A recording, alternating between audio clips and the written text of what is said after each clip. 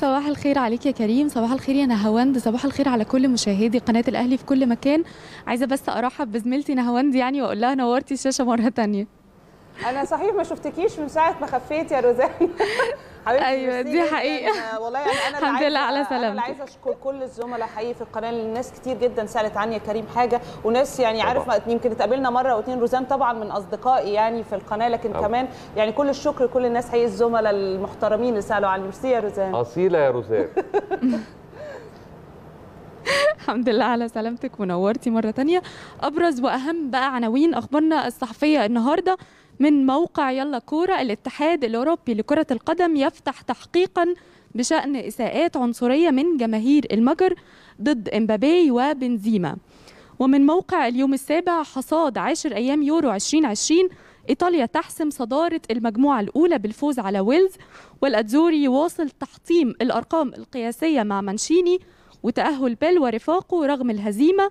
وسويسرا تتخطى تركيا وتنتظر فرصة التأهل كأفضل ثالث. من جريدة الشرق الأوسط كايكي معجزة برازيلية في الطريق إلى مانشستر سيتي. ومن الوطن سبورت صدمة قبل البداية اكتشاف أول إصابة بكورونا في أولمبياد طوكيو.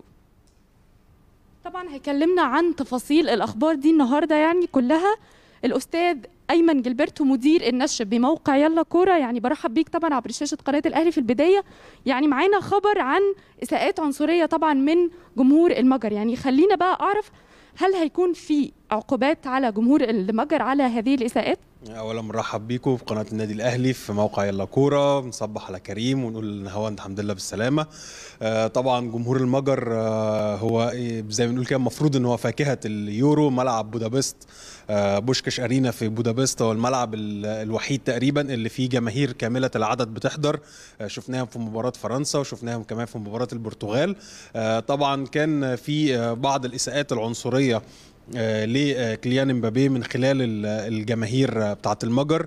آه، يعني بسبب آه، لون البشرة آه، وما إلى ذلك. وكمان كان في بعض الإساءات اللفظية آه، ضد كريم بنزيما بسبب آه، أصوله ال- العربية. فطبعا الويفا والفيفا في الأمور اللي زي دي دايما بيبقوا مركزين ودايما بيفتحوا تحقيقات عشان خاطر آه، طبعا ال fair play وعشان خاطر الملاعب دايما تبقى خالية من أي هتافات عنصرية أو أي إساءات آه، يعني فيها تمييز آه، بالنسبة للاعبين فبالتأكيد من الوارد إن إحنا ممكن في الأيام المقبلة نشوف بعض العقوبات على آه، المجر. يمكن المجر بنسبة كبيرة ممكن ما تكملش في البطولة ولكن الملعب الجميل ده إحنا حابين إن هو يفضل مستمر والجماهير تحضر بشكل آه، كبير فيه لأن هو ملعب جميل الصراحة وبيحسسنا إن إحنا مش في زمن كورونا خالص. ولكن هنشوف طبعا أكيد الوفا آه، مش هيقف ساكت لو تم إثبات إن في اساءات عنصرية تجاه مبابي وكريم بنزيما. عايزة أعرف منك بقى رأيك يعني في أداء إيطاليا يعني لحد دلوقتي في اليورو. كلمني عن يورو 2020 عن عاشر يعني أيام اليورو بشكل عام. طبعا هي إيطاليا المنتخب الأبرز حاليا آه، نتائج وأرقام وأداء وكل حاجة. الفريق حقق ثلاث انتصارات تسع نقاط آه، آه، clean sheet في الثلاث مباريات. آه، انت- 11 انتصار متتالي بشكل عام آه، للمنتخب الإيطالي. clean sheet وده من الأرقام القوية جدا. وكمان هم عدلوا رقم تاريخي تقريبا اتحقق سنة 1939 اللي هو 30 انتصار آه، متتالي أو إن هم ما تلقوش أي هزيمة آه، في 30 مباراه فدي برضو من الأرقام القوية. منتخب إيطاليا بيأدي أداء مميز جدا. آخر سنتين كان في إعادة تشكيل لطريقه أداء المنتخب. مانشيني قدر إن هو آه، يغير شكل الكرة الإيطالية أو شكل منتخب إيطاليا كما هو المتعارف. الناس كانت بتتكلم انه فريق آه، بيدافع فقط لا غير لكن لأ بنشوف أداء آه، ممتع. ويلز كمان قدرت إن هي تستفيد من قاعدة بقى فرق الأهداف وتحسم التأهل في المركز الثاني وتترك سويسرا رغم الانتصار اللي هي حققته على منتخب تركيا. إن هي تستنى بقى باقي ال- المباريات والمنتخبات وتشوف هل هي تقدر تبقى من المنتخبات الأربعة اللي هيستفيدوا بقاعدة آه، آه، أفضل توالت ولا لأ. هنشوف بقى في المباريات اللي جاية إن شاء الله يعني. معانا كمان خبر عن أول إصابة طبعا بفيروس كورونا.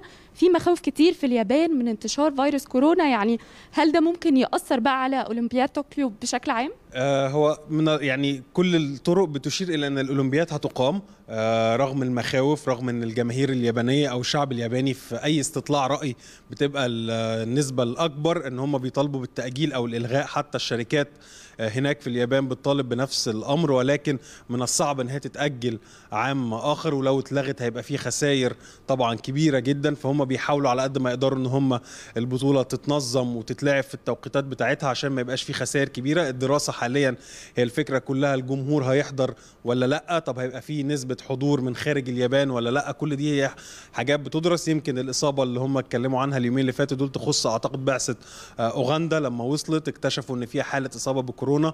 آه، طبعا كل البعثات دلوقتي آه، بتاخد المصل آه، بتاع لقاح آه، المصل بتاع كورونا عشان خاطر طبعا تقليل المخاطر بتاعة الإصابة ولكن مش هتقدري تمنعي آه، الموضوع بشكل كامل. نتمنى السلامة للجميع وإن شاء الله البعثة المصرية لما توصل اليابان تكون توصل بسلام ويحققوا إن شاء الله ميداليات ويبقى في أداء مشرف بإذن الله يعني. بشكرك جدا يعني مدير النشر بموقع يلا كورة الأستاذ أيمن جilberto يعني دي كانت أهم وأبرز العناوين هنا والأخبار من موقع يلا كورة. بشكركم جدا وعودة ليكم مرة ثانية إحنا اللي بنشكرك جزيل الشكر زميلتنا العزيزة روزان نصر وطبعا شكرنا موصول لضيفك الأستاذ أيمن جilberto ولي أيضا الزميلة العزيزة هانا أبو القاسم جزيل الشكر ليكم.